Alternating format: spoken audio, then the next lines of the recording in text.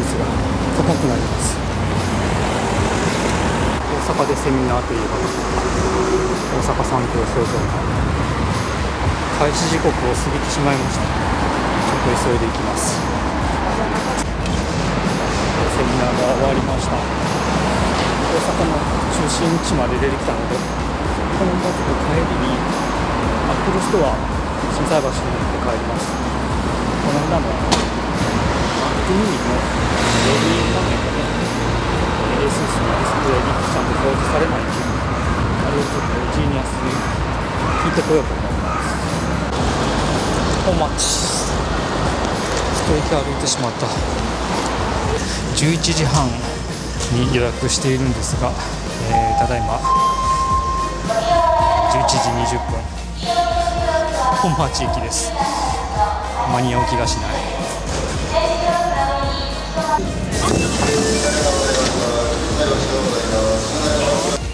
心斎橋着いた26分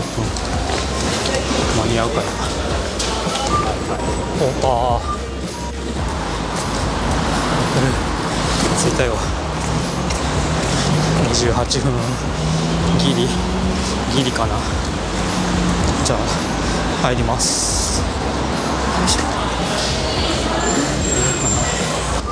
フルストア行ってきました。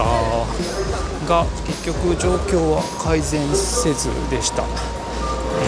ー、とねまあジーニアスさんにもいろいろ見てもらって。30分の枠いっぱいいっぱい見てもらったんですけど状況は改善せずで残念。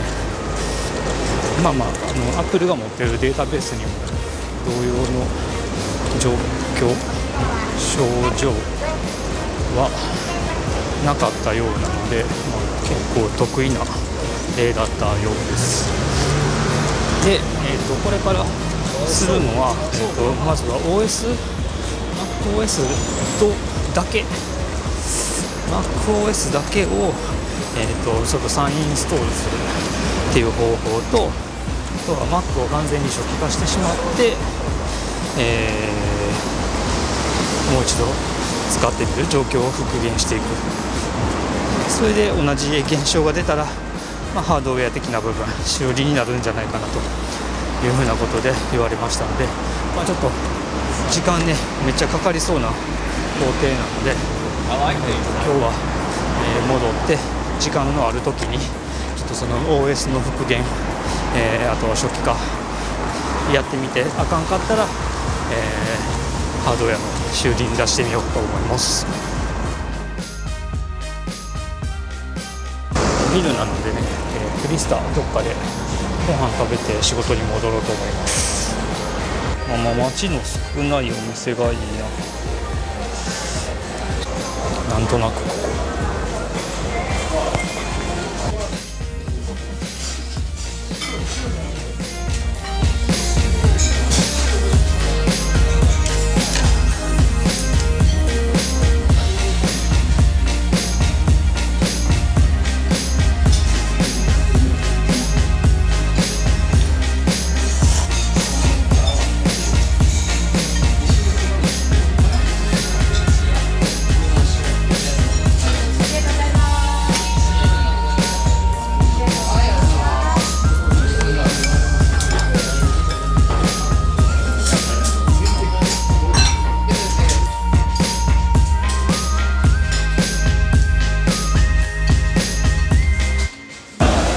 くさん美味しかったです。白ごま担々麺。結構女性の方も1人でフラッと入っていかれるいいお店でした。ここまで来たらもう長堀橋の方が近いので長堀橋に歩いて向かいます。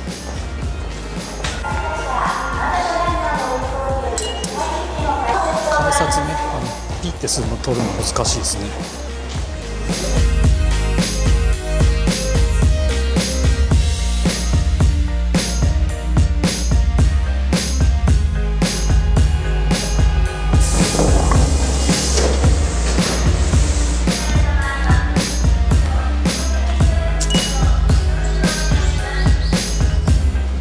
メルペイでこういうクーポンがあって目の前にローソンがあるんで使えますかね？ゲットえっと豚豚豚すごいですロ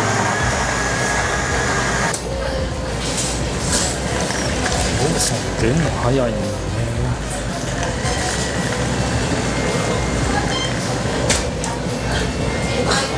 50円ラッキーいただきますうん。すっきりしててうまい。さて。戻ってまいりました。よいしょ。えー、無事セミナーを受けて、えー、アップルストア行って帰ってきました、えー、アップルストアね結局うん状況の改善には至らなかったんですけれどまあ試してなかった方法あの、えー、こんなことやってみてくださいっていうのはちょっと紹介してもらったので、うん、時間を見てね結構時間かかるんですよ2時間ぐらいのスパンでかかる作業が、えー、2つぐらい試してみないといけないようなので、えー、っとちょっとね時間のある時にやってみようと思います。ということで、えー、レゴニーでした。今日は外出の多い一日でしたが昼からは戻って、えー、ちょっとフォトショップと格闘しようと思ってますではでは